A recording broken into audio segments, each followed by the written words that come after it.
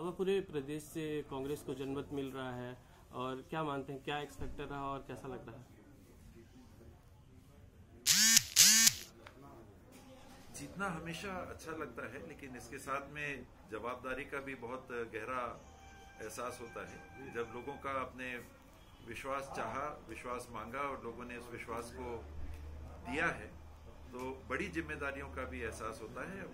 कांग्रेस की सरकार अब तो लगता है कि बन रही है, बन जाएगी।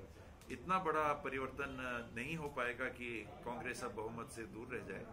और जिन जिन बातों को राहुल जी ने कहा जिन जिन बातों को कांग्रेस पार्टी ने चुनाव के दरमियान कहा, उनको पूरा करने की जवाबदारी अब हम कांग्रेस के साथियों की रहेगी, जो निर्वाचित होकर विधायक के रूप में और सरकार का हिस्सा बनेंगे। अब जन घोषणा पत्र और किसान का मुद्दा सबसे अहम माना जा रहा है। क्या लगता है, क्या एक्सपेक्टर था इसका?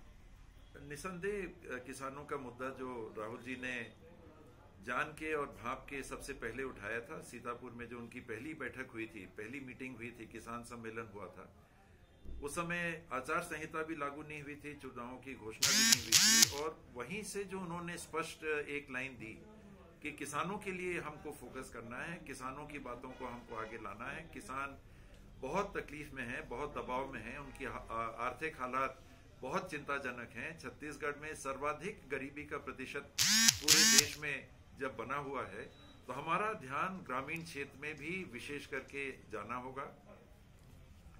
ग्रामीण क्षेत्र के साथ में कांग्रेस ने शहरों की तरफ़ भी ध्यान बना के रखा, शासकीय कर्मियों की तरफ़ भी ध्यान बना के रखा, युवाओं की तरफ़ भी ध्यान बना के रखा, महिलाओं की तरफ़ भी ध्यान बना के रखा, शिक्षा के स्तर के संदर्भ में भी कांग्रेस ने अपने विचार स्पष्ट रूप से रखे। स्वास्थ्य की एक नई, बहुत महत्वाकांक्षी योजना को कांग्रेस ने प्रस्तुत किया।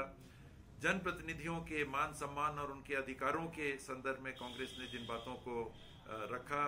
आदिवासी क्षेत्रों में पांचवी अनुसूची, पेशा कानून, वन अधिकार कानून, जिसमें आदिवासी समाज के साथ अन्य समाज के भी अधिकार जो अभी तक पूर्ण नहीं हुए थे और रमन सिंह की सरकार ने 2006 के कानून को 12 साल में भी ठीक तरीके से लागू नहीं किया था, ऐसे बहुत सारे मुद्दे थे जिनको कांग्रेस ने उठाया।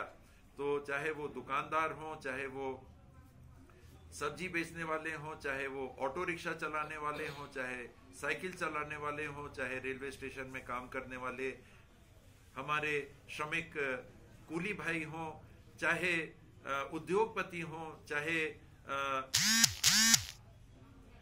मछली पालन करने से जुड़े हुए समाज के तबके हों, गौ पालन से जुड़े हुए समाज के तबके हों, सबके लिए कांग्रेस ने सोच के जिन बातों को सामने रखा, मुझे लगता है कि छत्तीसगढ़ के मतदाताओं ने विश्वास किया और कांग्रेस को ये अवसर दिया है कि उनकी उम्मीदों को आने वाले सालों में आने वाले समय में कांग्रेस पूरा करे। पोलिंग बूथ के बाहर भी और चारों तरफ़ से भी ऐसा आवाज़ आ रही है और लोगों में उमंग भी है कि अब नया सीएम आप होंगे।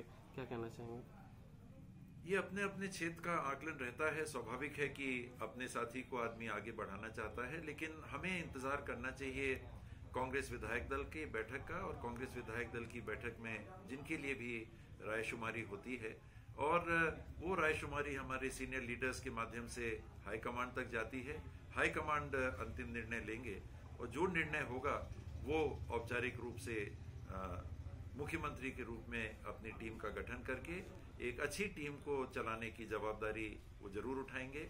मेरे को इस बात का भरपूर विश्वास है। तो बाबा अब आपका कितना प्रतिशत माना जा रहा है? 99 परसेंट आपका तय है सीएम बनना। अभी तो मैंने जैसे बताया कि विधायक दल की बैठे बैठक के पहले सबका शून्य प्रतिशत चांस है। किसी को भी अपने आप को आगे करना या किसी प्रकार का आकलन करना, ये प्रजातांत्रिक प्रक्रियाओं का भी अवमानना होगा, विधायकों के अधिकार की भी अवमानना होगी। सब साथ बैठ लें, सब साथ रायशुमारी कर लें और जो राय आती है, वो हमारे सीनियर लीडर्स भी उसको देखेंगे, सुनेंगे, समझेंगे और अपनी बातों का आकलन करके आगे हाईकमांड को अवगत कराएँगे। और हर दल में ऐसी ही प्रक्रिया होती है। कांग्रेस में भी हम लोग चाहते हैं कि, और राहुल जी विशेष करके ये चाहते हैं कि प्रजातांत्रिक प्रक्रियाओं के माध्यम से रायशुमारी होके अंतिम निर्णय उनके माध्यम से सामने आ जाएगा।